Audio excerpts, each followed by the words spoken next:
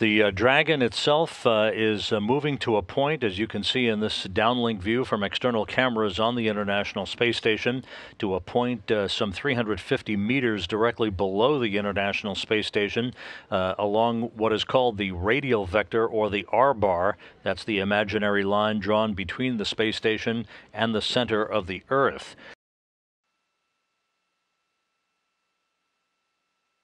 Dragon now has completed its yaw maneuver. We're expecting it uh, to depart the 350 meter hold point.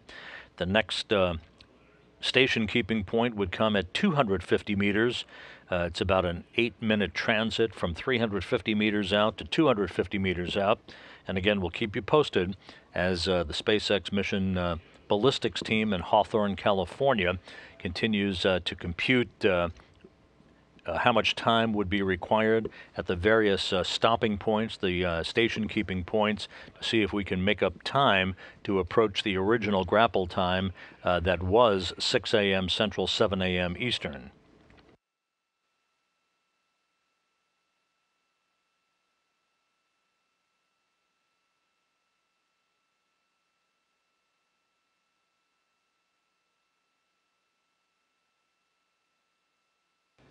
Flying 250 miles uh, over the uh, South Atlantic, uh, we just had a great view of the Dragon uh, cargo craft uh, before losing temporarily our downlink television capability from the International Space Station.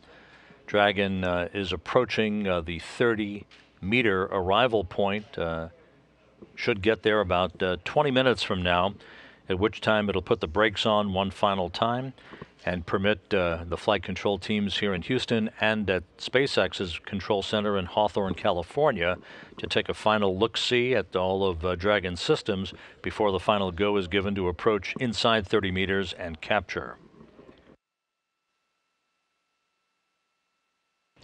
Dragon continues uh, a flawless approach to its final station keeping point of 30 meters, should arrive there in about eight minutes from now. The uh, distance uh, between Dragon and the International Space Station currently calculated at about 63 meters as uh, the station and the SpaceX cargo craft approach the uh, southwest coast of Africa. Dragon and the International Space Station now just 52 meters apart, approaching uh, the coast of Namibia, moving from southwest to northeast in an orbit inclined 51.6 degrees to either side of the equator. All of Dragon's systems continue to operate perfectly, approaching the 30 meter station keeping point some five minutes from now. Dragon now 41 meters away from the International Space Station. Space Ground 2 at 40 meters. I will call the uh, vehicle on camera 3 1 with port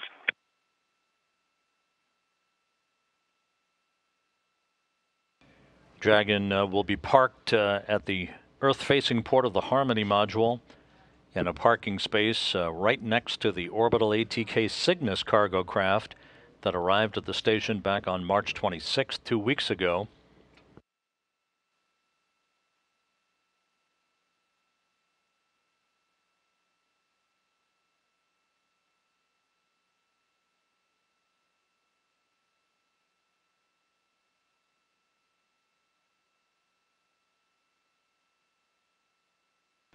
The Dragon cargo craft uh, launched on Friday afternoon from the Cape Canaveral Air Force Station in Florida aboard uh, the SpaceX Falcon 9 rocket. Entered its uh, preliminary orbit about uh, 10 minutes after launch, deployed its solar arrays, and began uh, the trek toward the International Space Station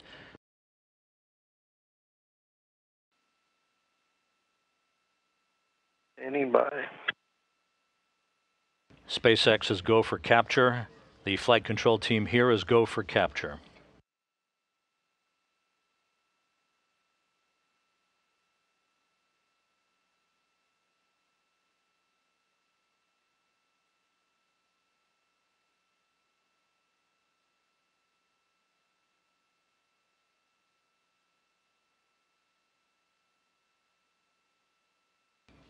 Capture confirmed.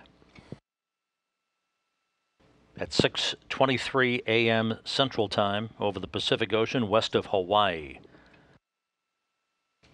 A cornucopia of cargo craft now at the International Space Station. Capture again confirmed at 6:23 a.m. Central Time.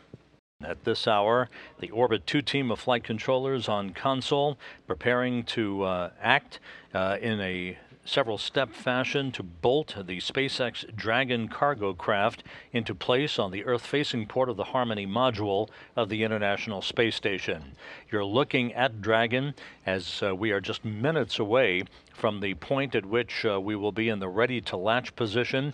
That will uh, be the precursor to the bolting of Dragon in place. a step uh, stair-step fashion in which four gangs of four bolts apiece, 16 bolts in all, will be commanded to drive a Dragon into a first stage capture, then a second stage capture to form a hard mate to that uh, port uh, to which Dragon will spend the next month attached to. Operating uh, the uh, station's robotic arm, uh, the robotics officer here in Mission Control is uh, moving uh, very slowly, very carefully uh, to ease the Dragon into the ready to latch position, as it is called. Once that is accomplished, uh, then uh, we will begin uh, to see the bolting of the Dragon take place. Again, four gangs of four bolts apiece, some 16 bolts that will be commanded to drive uh, the Dragon into a hard mate uh, to the International Space Station.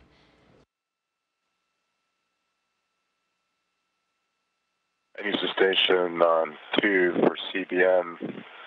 All uh, latch capture switches are open, and your go for SSRMS mode to LIMP. Houston copies. Loading to LIMP in work. That call by uh, Commander Tim Kopra, indicating that the uh, station's robotic arm will now be placed in the so-called limp mode so that no uncommanded motion of the arm would interfere with the uh, initiation of the bolting of Dragon to the Earth-facing port of the Harmony module.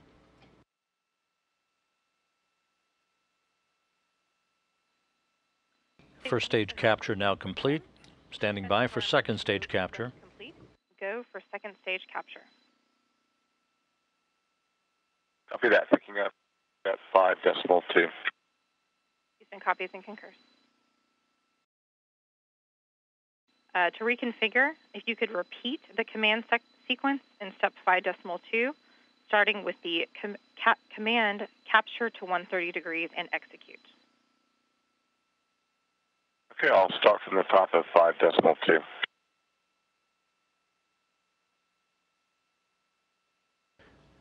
This is Mission Control Houston, and there is a signature shot that uh, illustrates uh, the cargo vehicle activity that has taken place at the International Space Station on the left, the newly attached SpaceX Dragon cargo vehicle that just arrived at the station today.